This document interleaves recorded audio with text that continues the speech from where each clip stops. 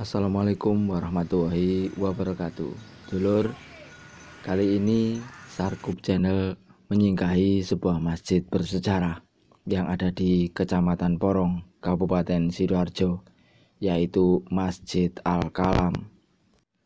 Nama Masjid Al-Kalam diambil dari nama pendirinya yaitu Mbah Yai Kalam Arfi atau Mbah Yai Kalam, seorang ulama yang berasal dari Trenggalek, Jawa Timur. Masjid Al-Kalam merupakan peninggalan Mbah Yai Kalam. Lokasinya berada di Dusun Juwet, RT 6, RW 2, Desa Juwet Kenongo, Kecamatan Porong, Kabupaten Sidoarjo. Dari arah Jalan Raya Bayangkari Porong, masuk gang ke selatan sejauh kira-kira 100 meter. Bayai Kalam Arfi lahir di Trenggalek, Jawa Timur, lalu menetap di Dusun Juwet, Desa Juwet Kenongo, Kecamatan Porong, Kabupaten Sidoarjo. Ibunya bernama Nyai Safurotun, kelahiran Desa Pelem, Kecamatan Kertosono, Kabupaten Nganjuk. Mbah Yai Kalam dimakamkan di belakang Masjid Al-Kalam. Secara garis keturunan atau silsilah keluarga, Mbah Yai Kalam masih merupakan keturunan Rasulullah Shallallahu Alaihi Wasallam yang ke-30.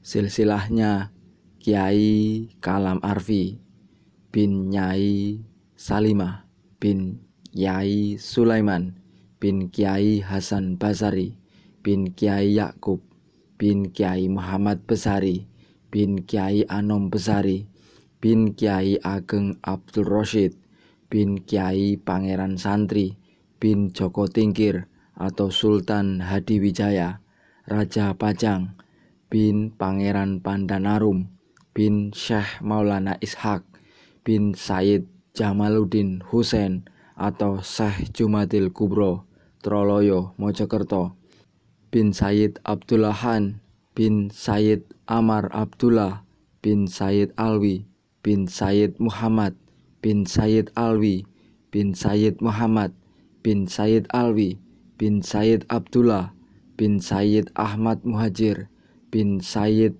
Hasan Al-Basri bin Said Sakib Ar-Rumi bin Said Ali Uraid bin Said Ja'far As-Sodiq bin Said Muhammad Bakir bin Sayyid Zainal Abidin bin Sayyidina Husain radhiyallahu an bin Sayyidatina Fatimah Az-Zahra radhiyallahu an bin Sayyidina Muhammad sallallahu alaihi wasallam.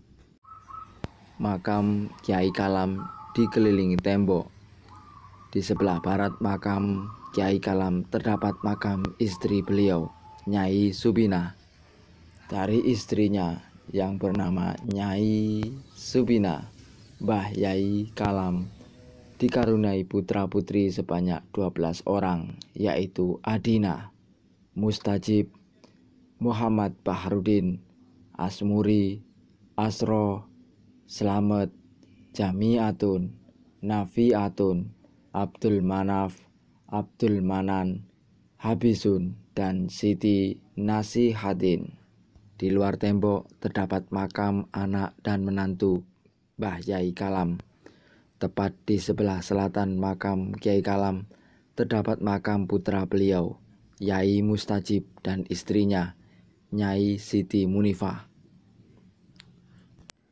Di selatannya lagi terdapat makam Kiai Asro dan makam istrinya, Nyai Sumaini.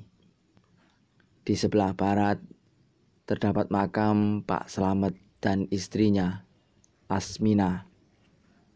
Sedangkan di sebelah barat pagar terdapat makam Putri Mbah Yai Kalam, Siti Nasihatin, dan menantu Kiai Kalam, Pak Ramlan. Perjuangan Mbah Yai Kalam Arfi dilanjutkan oleh anak cucu beliau, di antaranya yaitu Kiai Mustajib, Kiai Muhammad Bahrudin, dan Kiai Asro.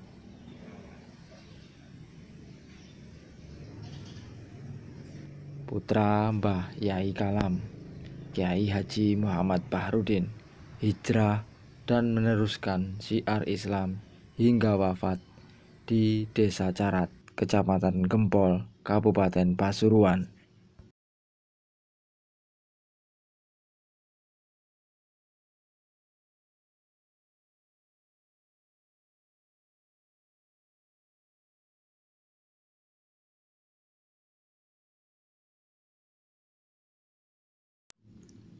Putra Kiai Bahrudin, Yai Muhammad Soleh Bahrudin atau Kiai Soleh, lalu meneruskan perjuangan ayahnya dengan mendirikan pondok pesantren Ngalah di Desa Sengonagung, Kecamatan Purwosari, Kabupaten Pasuruan.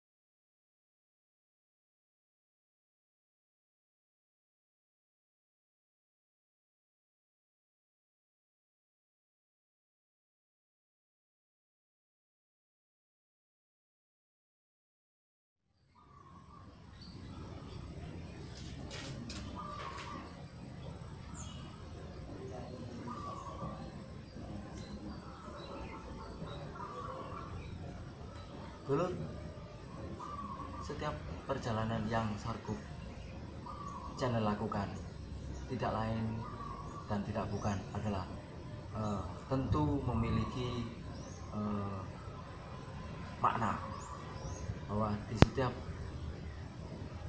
napak tilas yang dilakukan oleh Sarkup Channel memiliki paling tidak beberapa hikmah.